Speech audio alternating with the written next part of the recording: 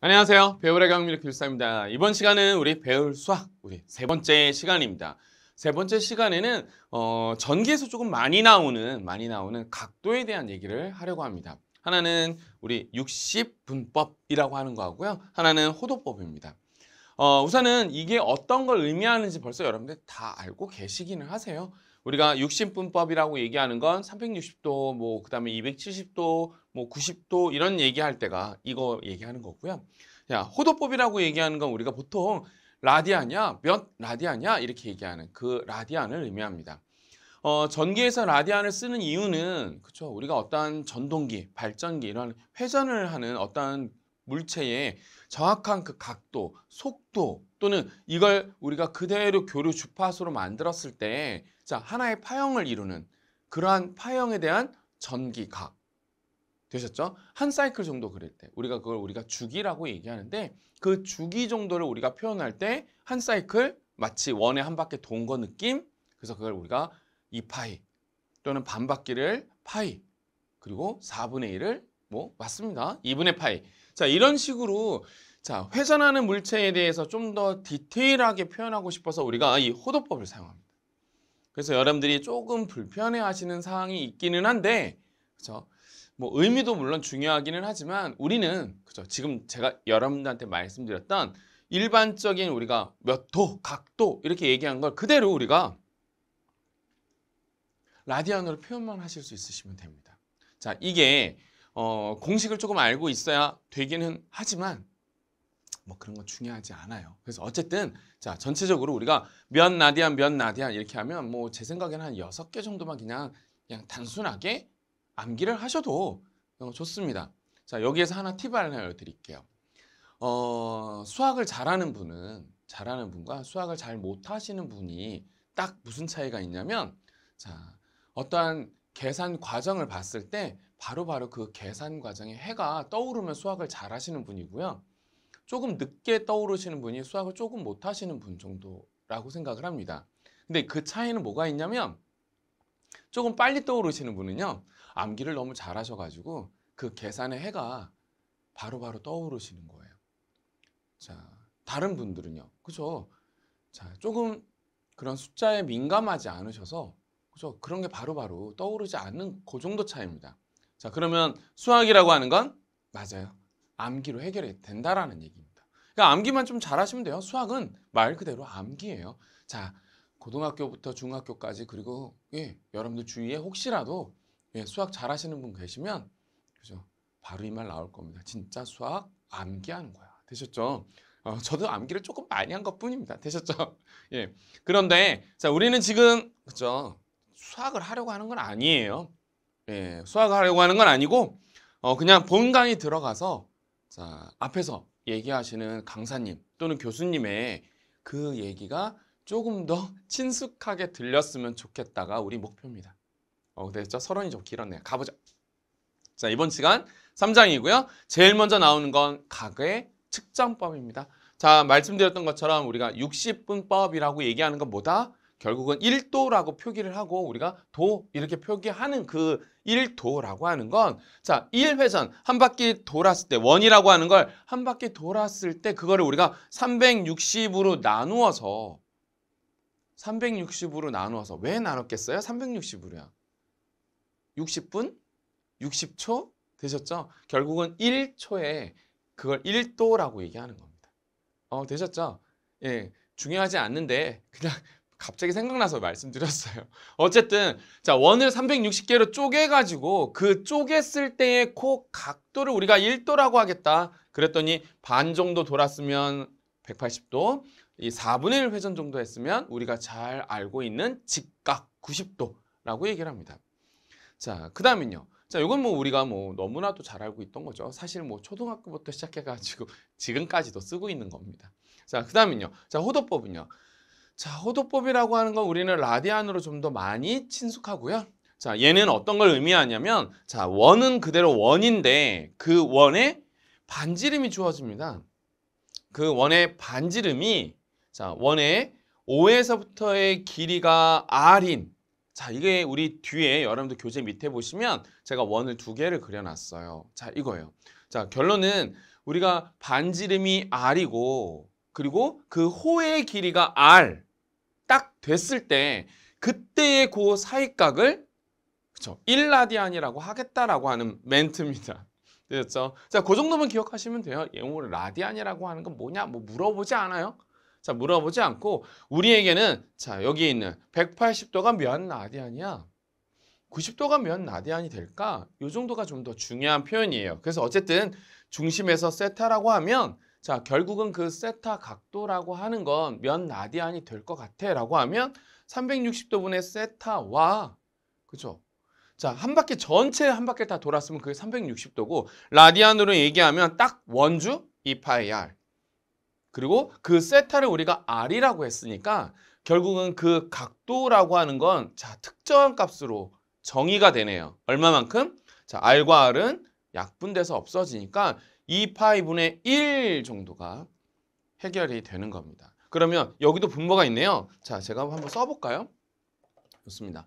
자, 우선은 뭐 360도를 우리가 예, 세타라고 하고 이 세타를 반지름이 r이고 호의 길이가 r 정도 되는 거를 우리가 그죠? 1라디안이라고 했으니까 상황적으로는 원주 360도 돌았을 때 이 파이 r이고 이 세타를 우리가 r 이렇게 됐다라는 얘기예요.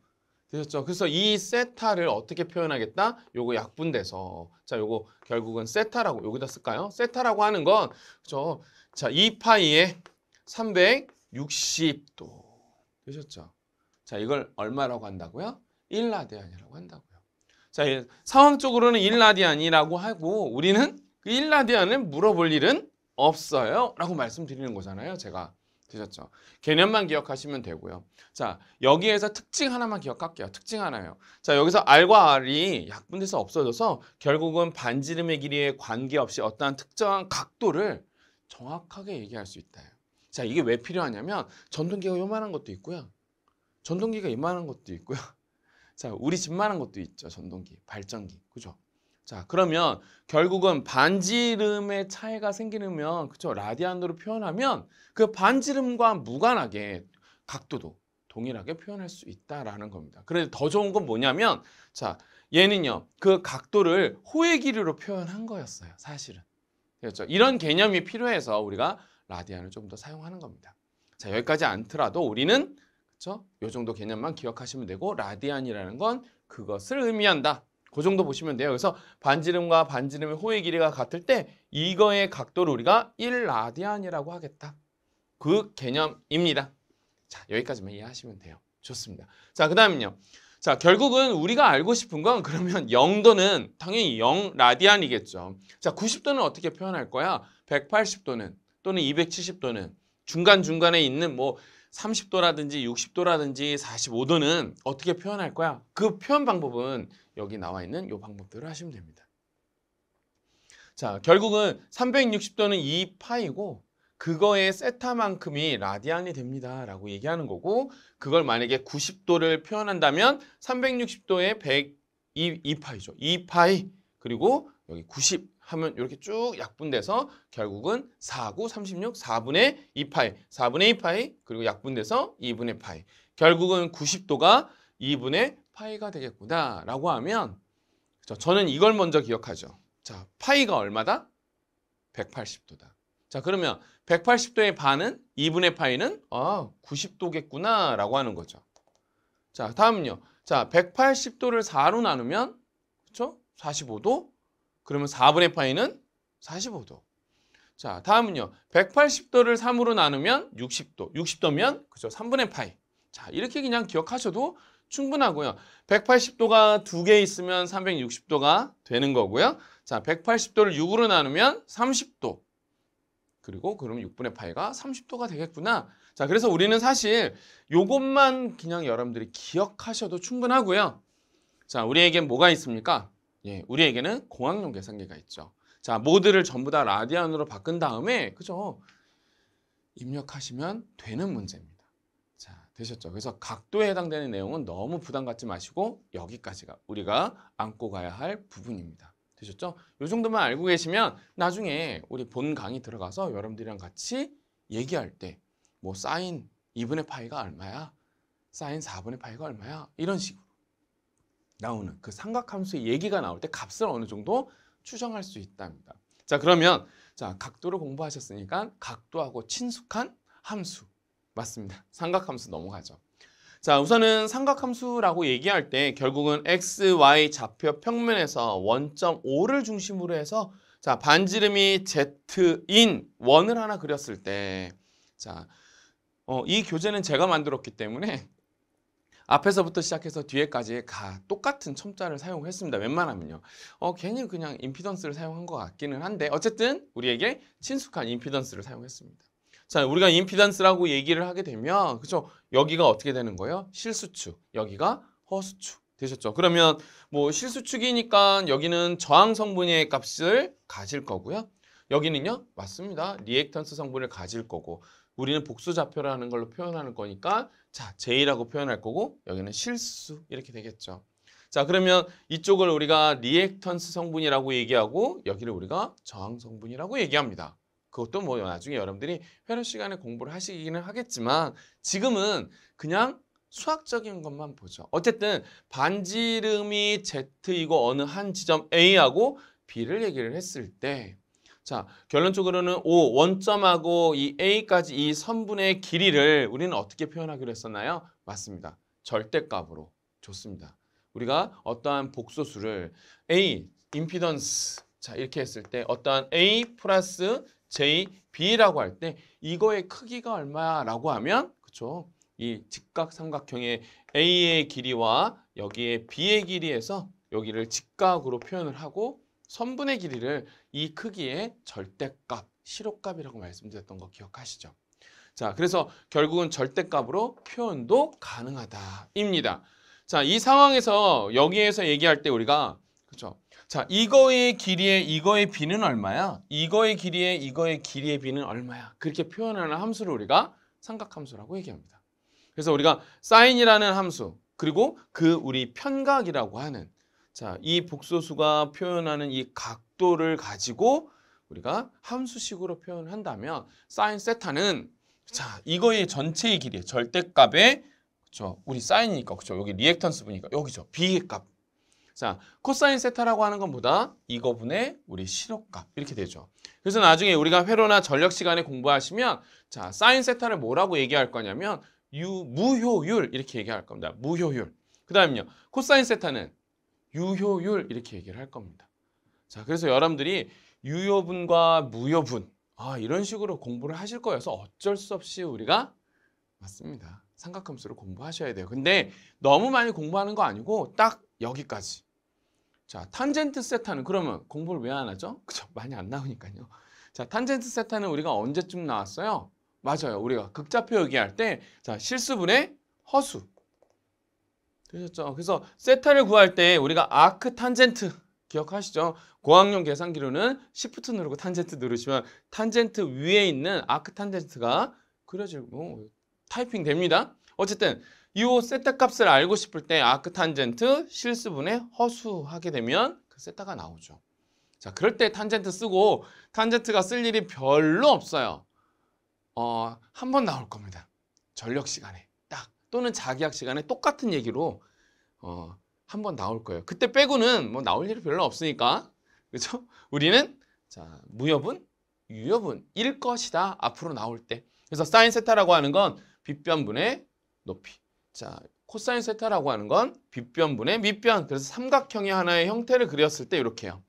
자, 이 삼각형의 형태를 하나 그렸을 때, 자, 빗변분의 높이와 빗변분의 밑변, 밑변분의 높이라고 하는 사인 세타, 코사인 세타 이렇게 표현할 수 있다. 이게 우리가 안고 갈 수 있는 최대?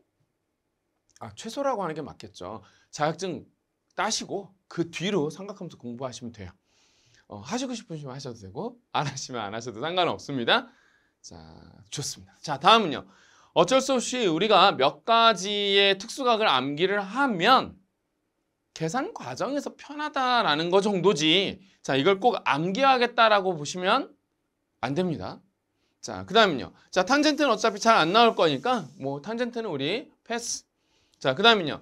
저는 사인과 코사인 둘 중에 아무거나 하나 공부하셨으면 좋겠습니다. 라고 하고 어, 일반적으로 함수식으로 많이 나오는 건 사실 그죠 유효분이 좀 많이 나오기는 하는데 그죠 뭐 사인이나 뭐 코사인이나 뭐 똑같아요 왜요 자 왜 똑같냐라고 제가 말씀드리냐면 사인 그래프 한번 볼까요 자 제가 여기다 여기다가 여기다가 한번 그려 볼게요 자 사인 함수의 그래프라고 얘기하는 건 그래도 우리가 뭐 요거 0 원점에서 시작을 해서 자 이렇게 되는 거 자, 그 다음은요. 자, 코사인은요. 요거 정확하게 90도 지나서 자, 요렇게 시작되는 거. 자, 그럼 파형은 다 똑같고 진폭도 다 똑같고 파장도 똑같고 주파수 다 똑같아. 주기도 똑같다. 그러면 결국은 그죠? 값은 똑같다라는 거예요. 자, 각도에 따라서 값은 똑같은 값들을 가질 것이다. 그래서 우리는 뭐만 기억하냐면 자, 요 사인에서도 자, 여기 정확하게 90 아이고 이거는 요, 여기까지예요. 자, 여기까지예요. 자, 요거 90도니까 우리 라디안으로 표현하면 맞습니다. 2분의 파이. 자, 이거 새로 그릴게요. 제가 빗변을 좀 잘못 그렸어요. 됐죠? 뭐 그래도 여러분들 잘 아실 수 있으실 거라서 자, 요렇게 해서 제가 조금 크게 그리죠. 자, 그럼 여기는 우리가 0도. 자, 여기 정확하게 온 거를 우리가 그쵸? 여기 정확하게 90도니까 2분의 파이일 거고 여기가 파이죠. 자, 전체적으로 사인과 코사인은 그죠? 느낌이 결국은 자, 한 반파 정도 또는 나머지 반파는 크기는 같고 그죠? 하나는 플러스, 하나는 마이너스 느낌 정도 되죠. 그래서 우리는 여기 딱 2분의 파이 90도 정점을 찍을 때까지만 좀 공부하시면 돼요. 자, 우선은 여기서 0부터 시작해서 이쪽으로 올라갈 때 우리한테 가장 중요한 건 그죠? 여기 30도라고 하는 게 있고요. 정확하게 이거 반 정도, 90도의 반이니까 그쵸? 요거 4분의 파이거든요. 자, 4분의 파이는 맞습니다. 우리 45도 정도 될 거고요. 자, 30도, 45도 그 다음에 조금 지나서 여기 60도 정도 되고요. 그 다음에 우리한테는 90도 정도가 가장 일반적인 특수각입니다. 그러니 당연히 0부터 시작해서 최대값은 1일 때까지 올라가겠죠. 자, 그래서 사인 그래프의 전체적인 함수식은 어떻게 되냐면 0도, 30도, 45도, 60도, 90도를 기준으로 했을 때 자, 분모는 전부 다 뭐다? 2. 자, 분자는 루트를 씌워서 0, 1, 2, 3, 4. 되셨죠? 자, 사인 값은 이게 다예요. 자, 암기하셔도 좋고 암기하지 않으셔도 상관없습니다. 우리는 고학력 계산기로 칠 거니까. 되었죠. 자, 코사인은요. 자, 반대로 내려가는 값을 갖는 게 우리 코사인 값이기 때문에 이렇게 내려가는 값을 갖기 때문에 그렇죠? 어디서부터 시작을 해요? 1부터. 그래서 분모는 전부 다 2로. 그 다음은요. 여기가 1이 돼야 되니까 4, 3, 2, 1, 빵. 자, 이렇게 해서 코사인과 사인 값은 가볍게 넘어가도록 하죠. 되셨죠? 좋습니다. 자, 요 정도만 암기하시면 돼요. 뭐 암기 안 하셔도 됩니다. 자, 그 다음은요. 자, 이거 삼각함수 들어가면 매번 나오는 공식 중에 하나예요. 뭐 등식, 뭐 뭐 뭐 연산 방법, 뭐 덧셈, 뺄셈 있는데 어, 그냥 예의상 하는 겁니다. 자, 예의상 하는 거예요. 모르셔도 상관없습니다. 왜 왜냐고 말씀드리냐면 왜 몰라도 되냐라고 하면 어우, 뭐너 암기해야 되는 거 아니에요? 아니에요. 아니고 우리는 아 이런 게 있었어. 있었습니다. 있었어. 있었어서 본강에 들어가서 교수님들이 또는 강사님들이 자 이거 뭐 이렇게 막 공식을 유도해 나갈 때 한 번 정도 두 번 정도 나오는데 그게 갑자기 훅 지나가 버리면 어 이거 내가 삼각함수를 몰라서 내가 공식을 이해 못해라고 하실까봐 하는 거예요. 되셨죠? 우리가 공식을 유도하라는 문제 안 나와요. 실기 그런 거 안 나와요. 자, 그러니 우리가 수업을 들을 때 아, 이거 이렇게 됐었지. 음, 어, 이 정도는 내가 이해할 수 있어가 우리의 최소입니다. 자, 그 정도만 아시면 돼요. 자, 그리고 나머지는 또 뭐라고요? 자격증 따시고 공부하시면 됩니다. 어, 공부 그때 하시면 돼요. 여유 있게 편한 시간대, 편한 장소에서 천천히 하시면 됩니다. 하지만 우리에게 주어진 시간에 가장 빠르게 관통해야 되는 게 자격증 시험입니다. 그렇기 때문에 이 정도는 그냥 느낌 알고 가시면 되는데 자, 이거 사실 고등학교 이전에 공부하셨어요. 지겹게 공부하셨습니다. 그리고 우리가 수능이라고 하는 것 또는 뭐 어, 저보다 윗세대는 학력고사 보셨을 텐데 어쨌든 자 그때 막, 막 뭐, 피 터지게 했던 그거 맞어요. 맞는데 자 우리가 기억나는 게 뭐는 기억이 나냐면 여러분들 교재에 그 밑에 있는 걔는 기억이 나요. 어떤 거냐면 이거예요, 이거요. 자 삼각형이 아니라 자 우리 삼각함수인데 삼각형을 그려놓지 않고 이 직각좌표계를 그려놓죠. 자 여기는 우리가 x축이에요, 여기는 y축이에요 이렇게 얘기하시고 여기는 플러스 축입니다. 여기는 플러스 축입니다. 여기는 당연히 x의 마이너스 축, 여기는 y의 마이너스 축입니다.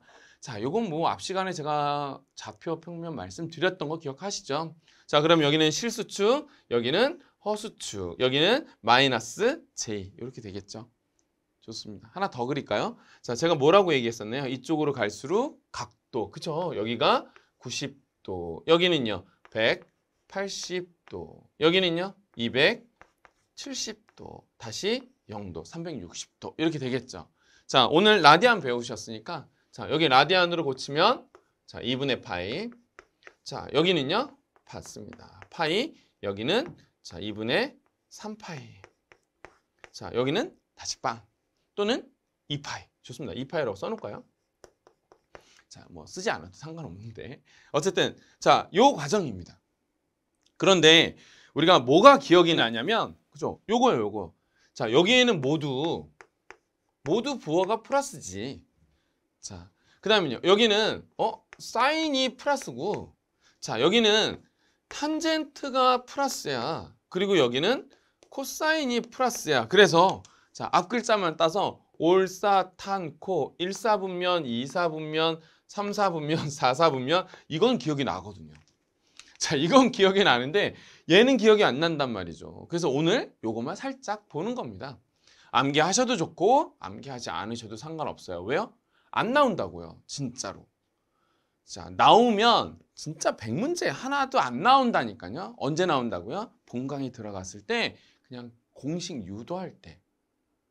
또 안 나와요. 들었죠? 자, 잘 안 나와요. 한 번, 두 번? 많으면, 많으면. 자, 그러니까 우리가 다섯 과목. 자, 공부하실 때 그 정도 비율이라는 거예요. 그 정도 비율.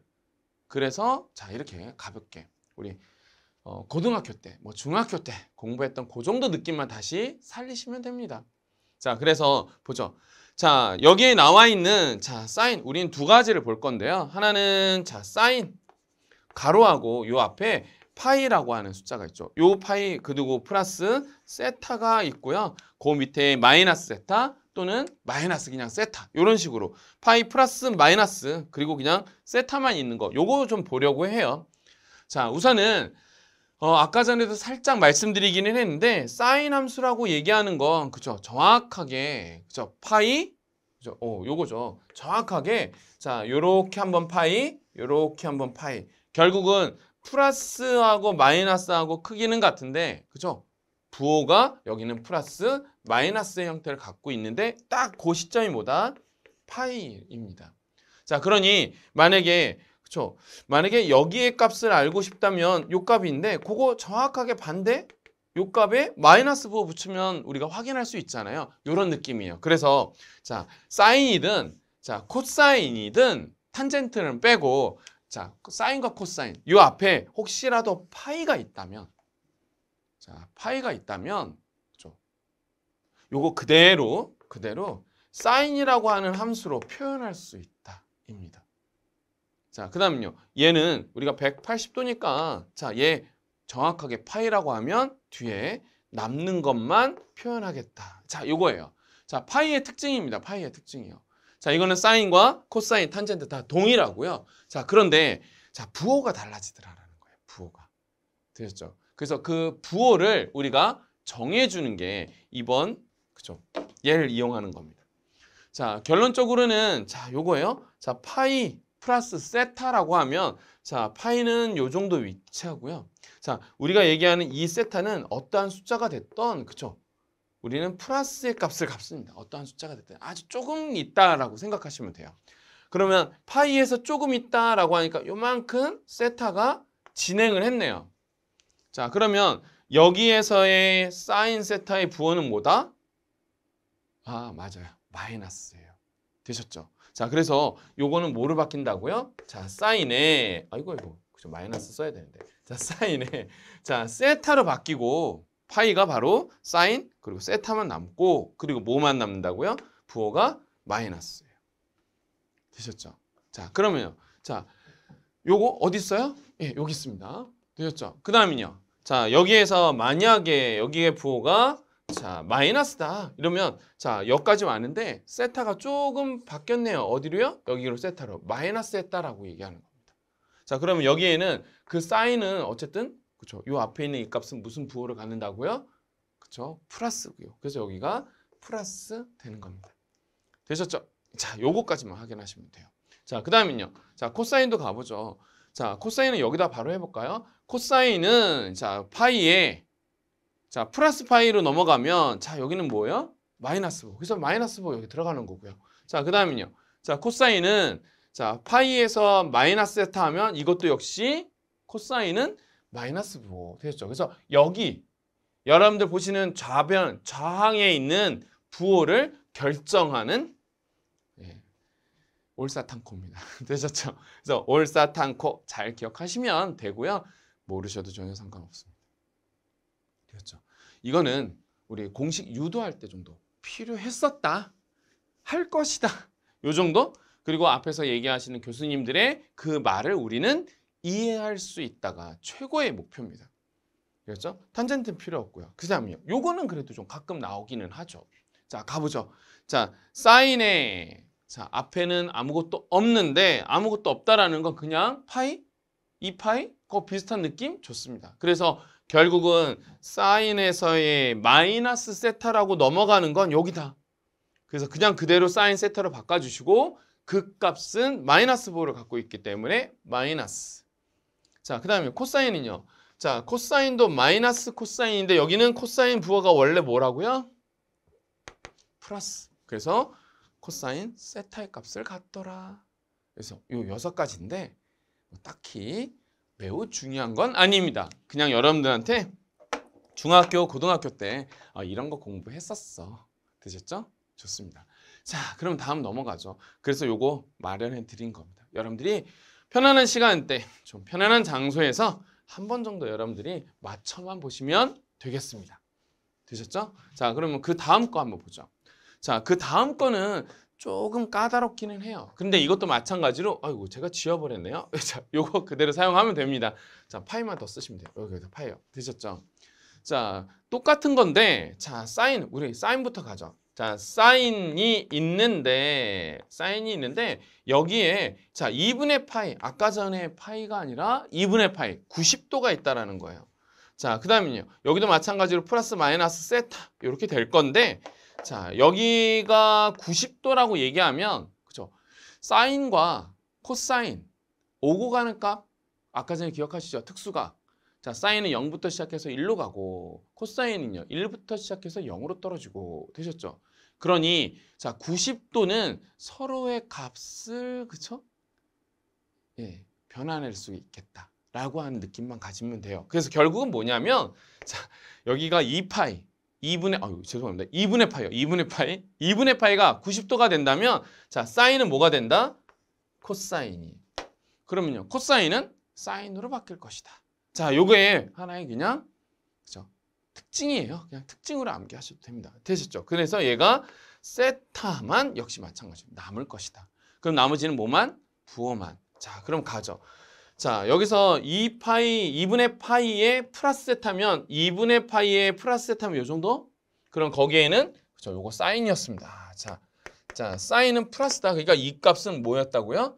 플러스였다고요. 그래서 얘가 플러스다. 되셨죠? 자, 그 다음은요. 자, 90도에서 마이너스 세타가 되면 모두 다 뭐였다고요? 플러스였다. 그래서 자, 사인은 코사인으로 그 값은 플러스. 뭐 나머지 거 더 해볼까요? 그래도 두 개 남았으니까 얘는 안 할 거니까요. 자 코사인요. 코사인은 사인으로 바뀐다. 자 코사인은 사인으로 바뀌는데 2분의 파이에서 세타로 넘어가면 여기는 그쵸 코사인은 마이너스 4를 갖죠. 자 그다음은요.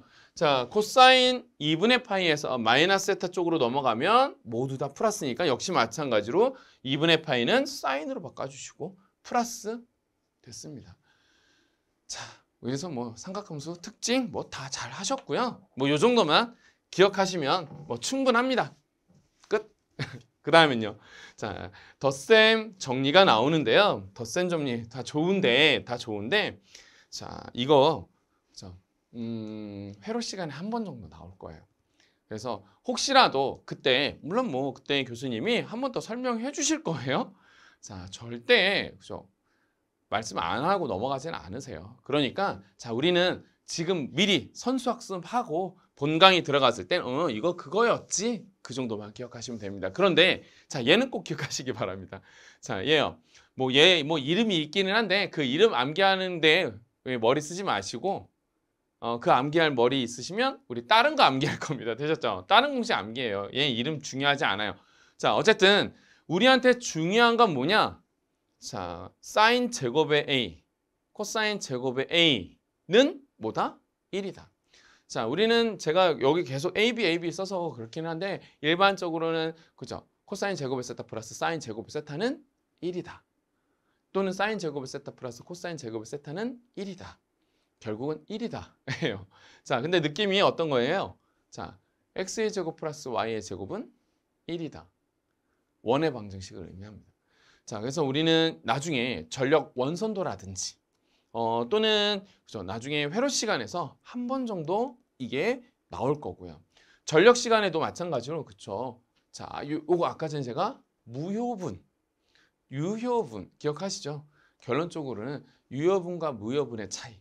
자, 같다라고 얘기하는 겁니다. 1로 그 값이 되셨죠? 자, 그 정도입니다. 그 정도 여러분들이 기억하시면 충분하고요. 자, 그 다음은요. 만약에 사인과 코사인의 그 안에 안에 어떠한 각도의 두 개의 합과 차로 이루어져 있다면 그 합과 차는 지금 보이시는 것처럼 각각의 사인 함수의 합과 차로 표현할 수 있답니다.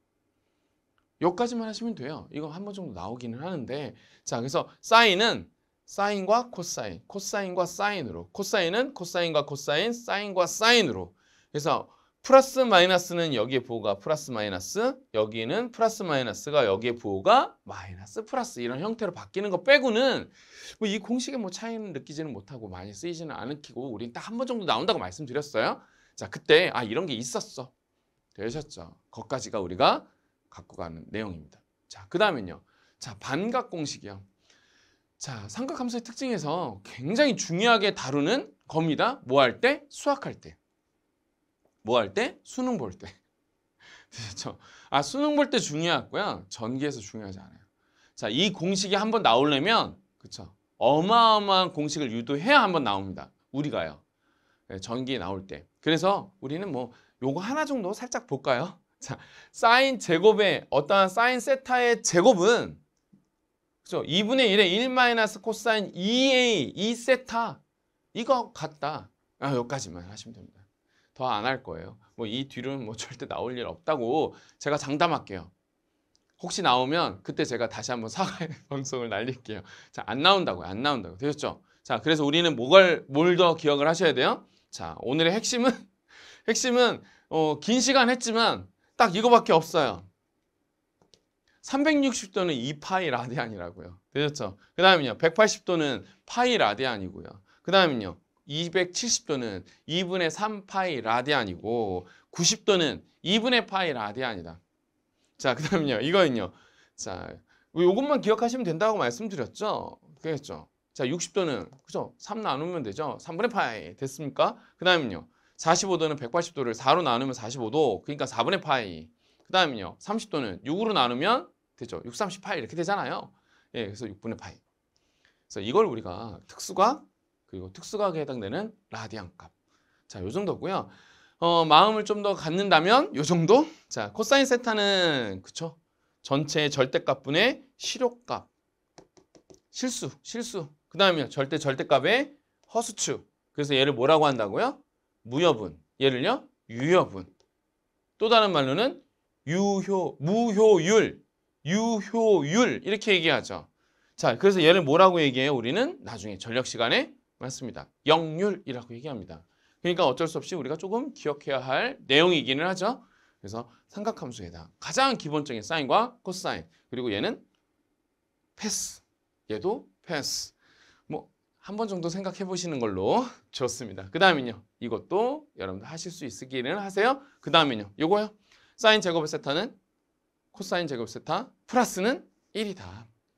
좋습니다. 여기까지가 우리가 안고 갈 수 있는 가장 짧고 굵은 삼각함수 각도의 표현이 되겠습니다. 되셨죠? 이번 시간 여기까지 정리하도록 하겠습니다. 수고하셨습니다.